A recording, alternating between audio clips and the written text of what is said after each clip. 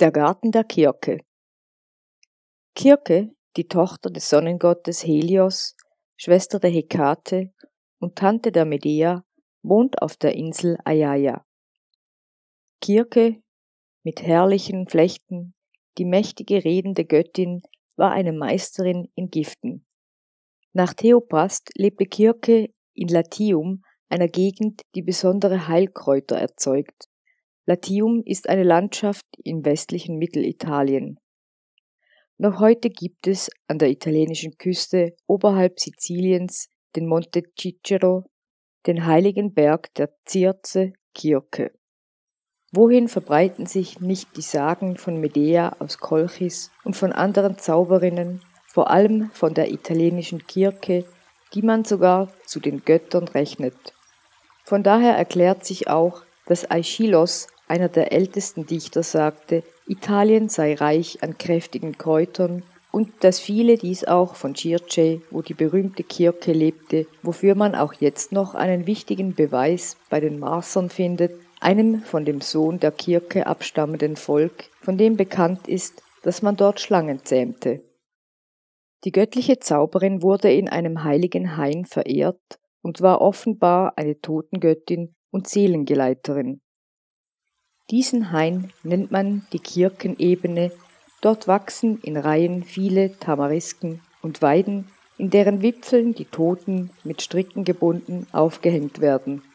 Denn bis heute gilt es den Kolchern als Frevel, tote Männer im Feuer zu verbrennen, auch ist es nicht Brauch, sie in der Erde zu legen und darüber einen Grabmantel aufzuschütten, sondern sie in ungegerbte Rindshäute einzuhüllen und fern von der Stadt in Bäume aufzuhängen.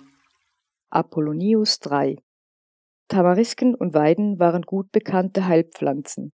Die Weide bzw. weiße Weide gilt als Verhütungsmittel, also eine typische Hexenpflanze.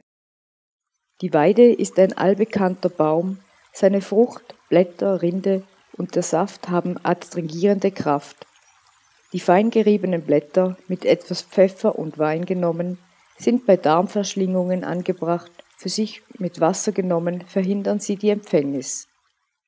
Dioskurides 1, 135 Ein weiterer heiliger Baum der Kirche war anscheinend die Erle, wahrscheinlich die Schwarzerle.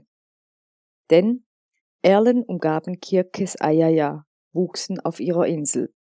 Vermutlich gab es einen archaischen Erlenkult, der aber schon zu hellenistischer Zeit verdrängt wurde. Die Erlen galten als verwandelte Schwestern des Patheon, dem Sohn des Helios und Bruder der Kirke. Das heilige Räucherwerk der Kirke war der wohlriechende Wacholder. Damit rückt sie in die Nähe archaischen Schamanentums. Denn der Wacholder ist einer der ältesten Räucherstoffe der eurasiatischen Schamanen. Die glasschimmernde, lockende Zirze, die göttliche Zirze, die Tochter und Mutter von Finsternis und Schrecken, die edle Zauberin oder auch Erbarmungslose war ursprünglich eine Heilgöttin. Ach, wenn es doch dem Himmel gefiele, dass uns heute, wie einst in glücklichen Jahrhunderten, jene zauberische Zirze erschiene, die es vermochte, mit Pflanzen, Erzen, Giften und Zaubereien der Natur gleichsam Einhalt zu gebieten. Ich bin sicher, dass sie trotz ihres Stolzes unserem Übel gegenüber barmherzig wäre. Bruno 1995 101 Wer Hexengewerke will erkennen, pflanze am Zaun von Priestern gesegnete Distel, auch Krautmolly beschneide nicht Holunder und Hasel, das Farn noch wählen und Mistel auf Apfel schmarotzen. Molly die Zauberpflanze der Kirke. Molly war die berühmteste Pflanze der Kirke. Schon in der Antike wurde das sagenhafte Molly als psychoaktives und aphrodisisisches Gewächs angesehen. Das homerische Molly ebenso wie die Zauberpflanze der Kirke wurden schon früh als Alraune gedeutet.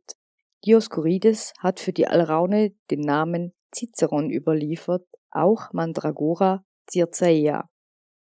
Das Kraut mit dem Kirke die Mannen des Odysseus in Schweine, heißt wohl sexuell erregte Männer, verwandelte. Die Mandragora, einige nennen sie Atimelon gleich an Apfelstelle, andere Dirkaya, auch Kirkaya, Pflanze der Kirke, da die Wurzel als Liebesmittel wirksam zu sein scheint. Ebenso heißt es bei Plinius, den Mandragoras nennen einige Kirkaion. Es gibt zwei Arten, eine weißmännliche und eine schwarze, die man für weiblich hält. Die weiße Art nennen manche Arsen, manche Morion und wiederum einige Hypoplomos. Nach Apollodoros, zweites Jahrhundert vor Christus, dem bedeutendsten Gelehrten seiner Zeit, war die Kirkaya, die Pflanze der Kirke, ein Amulett gegen den Schadenzauber der Pasiphane, einer Tochter des Sonnengottes Helios. Auch Kirke war eine Tochter des Helios, Gattin des Königs Minos und Mutter der Ariadne und des Minotauros. Bei Homer wird Molly, die göttliche Zauberpflanze des Hermes, nur kurz beschrieben. Mit diesem Molly, das im Urtext als Pharmakon, Heilmittel, Gift, klassifiziert wurde, hat sich Odysseus vor der Zauberin Kirke geschützt, die seinen Mannen in Schweine verwandelt hat. Wichtig ist der Hinweis, dass die Pflanze von Hermes, gleich Merkur, im Garten der Kirke geerntet wurde, also eine Zauberpflanze der Kirke war, die nun durch den Götterboten in ein geradezu homöopathisches Gegenmittel transformiert wurde. Hermes zog aus dem Boden ein Giftkraut, gab es und zeigte mir auch, wie es war und wie es gewachsen. Schwarz war die Wurzel, weiß wie Milch war die Blüte, die Götter nennen es Molly. Es ist sehr schwierig für sterbliche Menschen danach zu graben. Die Götter freilich vermögen ja alles. Odyssee 20 Generationen von Alchemisten, Gräzisten, Philologen, Pharmakologen und Ethnobotaniker haben versucht, die botanische Identität der homerischen Zauberpflanze zu enthüllen. Bereits Theoprast, der Vater der Botanik, bemühte sich um die botanische Identität der Stammpflanze. Parakeia, das Allheilkraut, gedeiht in großer Menge und am besten auf steinigen Böden bei Psophis. Molly bei Peneus und auf dem Berg Kylene. Sie sagen, dass diese Pflanze wie das von Homer erwähnte Molly sei, dass es die Wurzel wie eine Zwiebel habe und Blätter wie die Meerzwiebel und dass es gegen Zaubersprüche und Magie benutzt werde, aber es ist nicht, wie Homer sagt, schwierig auszugraben. Theoprast, Geschichte der Pflanze. Dioskurides schreibt, dass die als Aphrodisiakum geschätzte Meeres- oder Stranddistel auch Molly genannt wurde. Das Eringion, auch Hexendistel genannt, kühlt aufgewärmt die Entzündungen bei Vergiftung durch Mutterkorn. Auch das mysteriöse Halicacabon oder Halicacabum genannte Gewächs gehört zur Gruppe der Molly genannten psychoaktiven Pflanzen, deren botanische Identität ungewiss bleibt. Es gibt noch eine andere Art, Salztiegel genannt, die einschläfernd wirkt und noch schneller als Opium zum Tode führen kann. Andere nennen sie Narrenkraut, wieder andere Molly. Sie wird aber von Diokles und Euenor, auch von Timaristos, sogar in einem Gedicht gerühmt, wobei sie die Harmlosigkeit merkwürdig vergesslich macht. Für sie ist die Pflanze ein schnell wirkendes Mittel, wackelnde Zähne zu festigen wenn man sie mit Helicacarbon in Wein spült, wenigstens haben sie die Einschränkung noch zugefügt, dass dies nicht zu lange geschehen dürfe, denn es werde dadurch Wahnsinn erzeugt. Die Wurzel des Helicacarbon nehmen diejenigen als Getränk zu sich, die wahrsagen möchten und, um abergläubische Vorstellungen zu bekräftigen, als wahrhaft Gottbegeisterte angesehen werden wollen.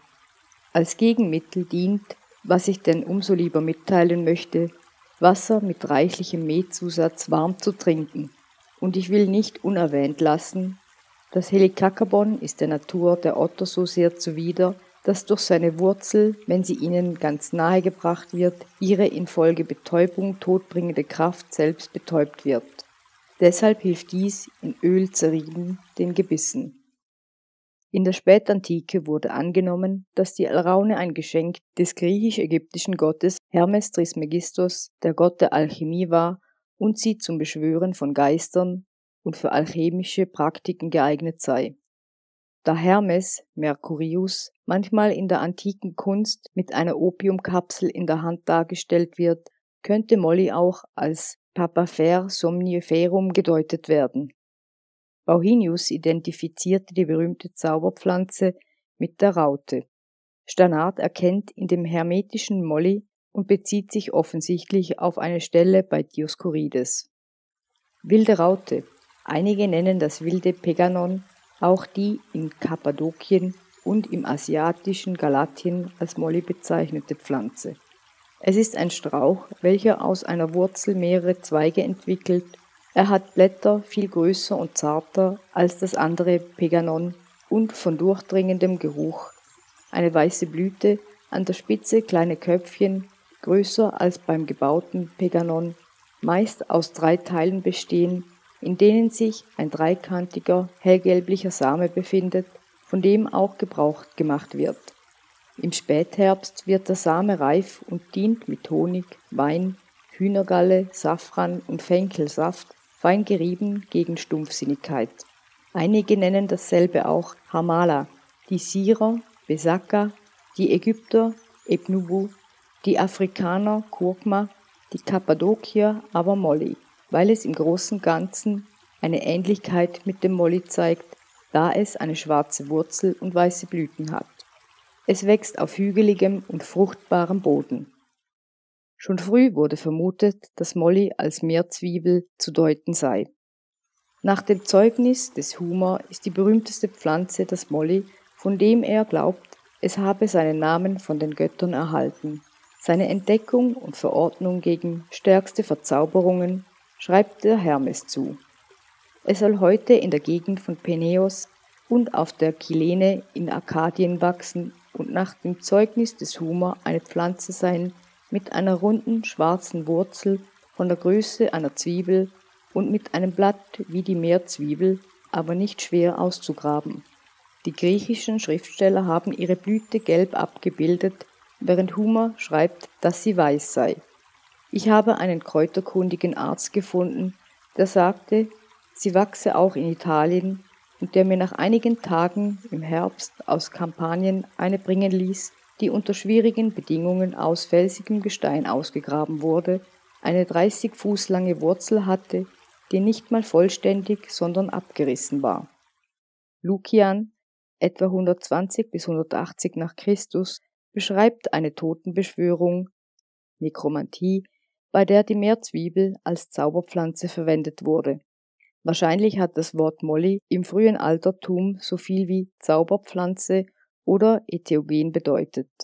Es wurde als eine Art Überbegriff für psychoaktive, magisch verwendete Pflanzen benutzt, ganz ähnlich wie die Worte Haoma oder Soma.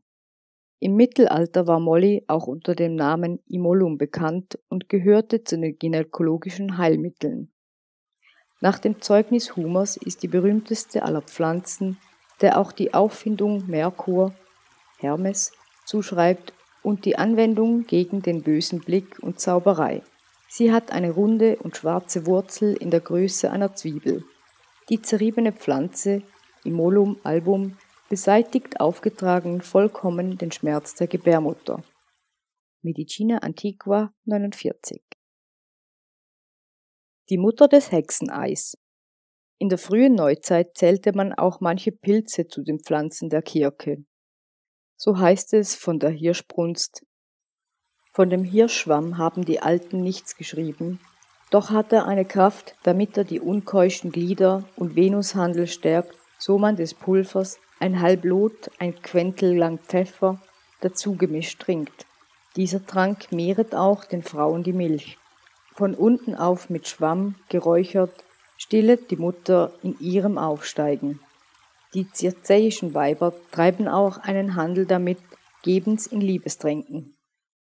Dieser im Volksmund meist Hexenei genannte Pilz wurde bis in unsere Zeit von bösen Weibern zur Befreiung, zur Bereitung von Liebestränken benutzt.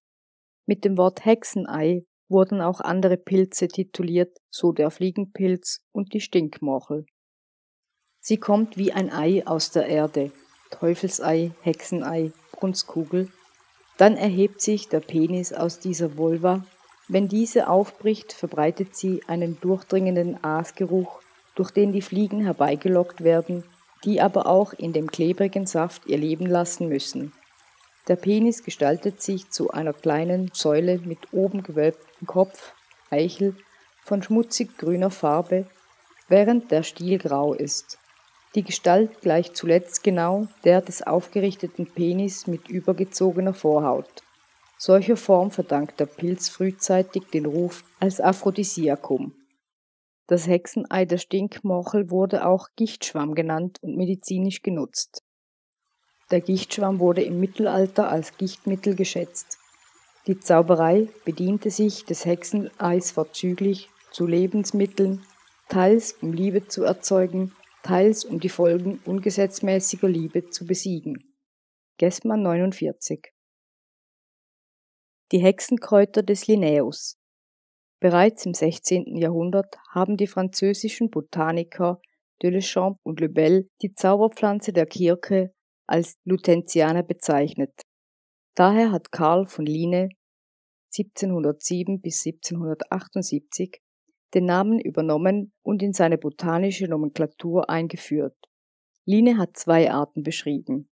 Circea lutentiana, großes Hexenkraut, eurasiatisch verbreitet.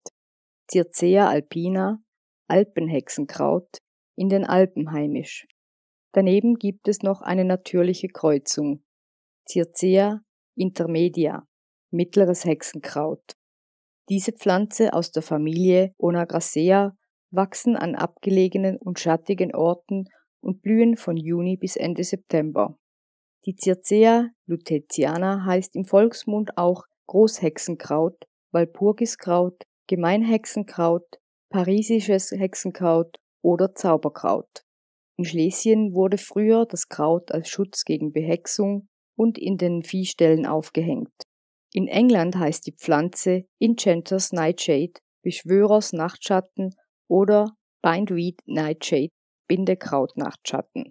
Das heißt, die Pflanze wurde schon früh mit magischen Riten, Beschwörungen, Defiktionen assoziiert. Schon Chirac kommentiert Lebels botanische Zuordnung als Irrtum, weil die Wirkung, die der antiken Circea zugeschrieben wurde, lediglich auf die Mandragoras zutreffen, während die Circea lutetiana die gleichen Tugenden hätte wie der Gartennachtschatten